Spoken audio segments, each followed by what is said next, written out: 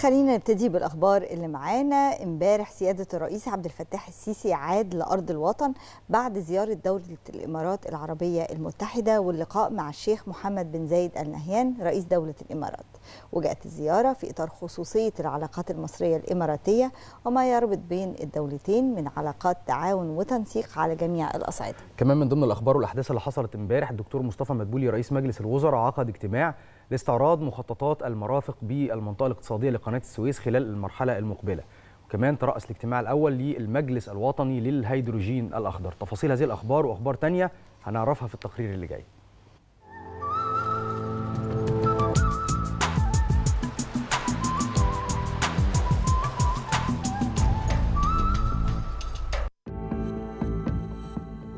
أخبار كتيرة مهمة حصلت امبارح. أبرزها أن الرئيس عبد الفتاح السيسي عاد إلى أرض الوطن بعد زيارة دولة الإمارات العربية المتحدة واللقاء مع الشيخ محمد بن زايد آل نهيان رئيس دولة الإمارات.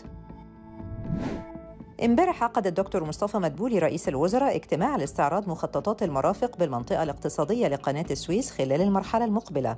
وأوضح رئيس الوزراء أن الاجتماع ده بيأتي في إطار الحرص على متابعة احتياجات المنطقة الاقتصادية لقناة السويس من المياه وده في ظل تنامي الاستثمارات والتوسع في المشروعات في هذه المنطقة خلال الفترة الأخيرة. وقال نستهدف توافر المرافق بوجه عام في هذه المنطقة الحيوية خاصة في ظل بدء التنمية أيضاً بمدينة السويس الجديدة وكذلك المشروعات الأخرى بالمنطقة.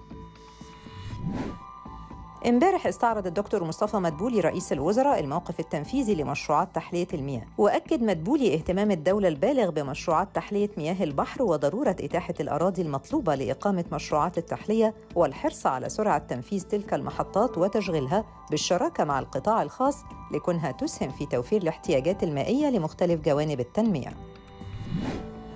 امبارح ترأس الدكتور مصطفى مدبولي رئيس الوزراء الاجتماع الأول للمجلس الوطني للهيدروجين الأخضر. وأوضح رئيس الوزراء أن إنشاء المجلس بيأتي في إطار جهود الدولة لتوطين تلك الصناعة الواعدة وتنفيذا لتوجيهات الرئيس عبد الفتاح السيسي بإنشاء كيان مؤسسي يتولى تنسيق وإدارة كل ما يخص هذا الملف الحيوي. وأكد مدبولي أنه من خلال هذا المجلس سيتم خلق آلية سريعة للموافقة على مشروعات الهيدروجين الأخضر. امبارح ترأس الدكتور مصطفى مدبولي اجتماع اللجنة الوزارية لوحدة الصين وخلال الاجتماع تم استعراض ملفات التعاون الثنائي بين مصر والصين واللي بيأتي على رأسها حجم التبادل التجاري اللي بلغ 18 مليار دولار خلال عام 2022 وأيضا حجم الاستثمارات اللي بتبلغ 8 مليار دولار من خلال 2066 شركة ذات مساهمة صينية.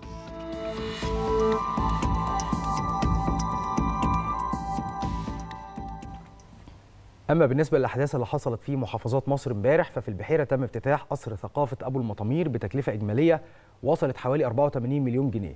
في محافظة الغربية تم تدشين فعاليات مبادرة راجعين نتعلم وده لتوفير المستلزمات المدرسية. كمان امبارح في المنوفية تم توفير 235 فرصة عمل بالتعاون مع القطاع الخاص خلال أغسطس اللي فات.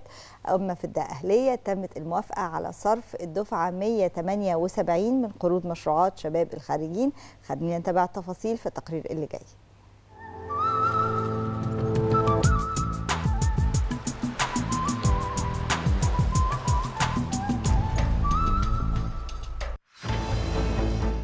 محافظات مصر شهدت امبارح أخبار وأحداث كتيرة. في البحيرة تم افتتاح قصر ثقافة مدينة أبو المطامير اللي بيقام على مساحة 1210 متر مربع بتكلفة إجمالية تقدر بمبلغ 84 مليون جنيه. في الغربية شهدت المحافظة فعاليات مبادرة مؤسسة حياة كريمة راجعين نتعلم للعام الثاني على التوالي لتسديد المصروفات الدراسية وتوفير المستلزمات المدرسية لطلاب المدارس المستحقين على مستوى المحافظة. في المنوفية أعلنت المحافظة عن توفير 235 فرصة عمل لشباب وأبناء المحافظة بالتعاون مع شركات القطاع الخاص بالمناطق الصناعية بأوسنا والسادات والمنطقة الحرة بشبين الكوم من خلال إدارة تشغيل الشباب بالديوان العام وده خلال شهر أغسطس الماضي. في جامعة سوهاج تم صرف شهر من الراتب الأساسي مكافأة لجميع العاملين بالجامعة بمختلف قطاعاتها وده بمناسبة المولد النبوي الشريف واستعدادا لانطلاق العام الجامعي الجديد. وبينص القرار على صرف مكافأة شهر من الأساسي بحد أدنى 600 جنيه للعاملين بالجامعة وكافة كلياتها ومعاهدها وإدارتها والمستشفيات الجامعية. في مطروح أعلنت المحافظة عن وصول أحدث جهاز أشعة مقطعية بالمحافظة دعماً من وزارة الصحة والأول من نوعه في مستشفيات القطاع الصحي بمطروح ويجري حالياً التجهيز لتركيبه وتشغيله بمستشفى مطروح العام. في الأقصر شهدت أرض مطار البالون الطائر تحليق الرحلات بصورة طبيعية مع التحسن في حالة الطقس. وانطلقت 40 رحلة بالون أقلت على متنها أكثر من 850 سائح من حول العالم وسط أجواء من الفرحة والبهجة بين السياح من حول العالم. في الدقهلية وافقت المحافظة على صرف الدفعة 178 من حساب قروض جهاز تشغيل شباب الخريجين بدون فوائد دفعة شهر أغسطس 2023 وده بإجمالي مليون جنيه موزعة على 12 وحدة محلية بمراكز ومدن المحافظة لإقامة مشروعاتهم.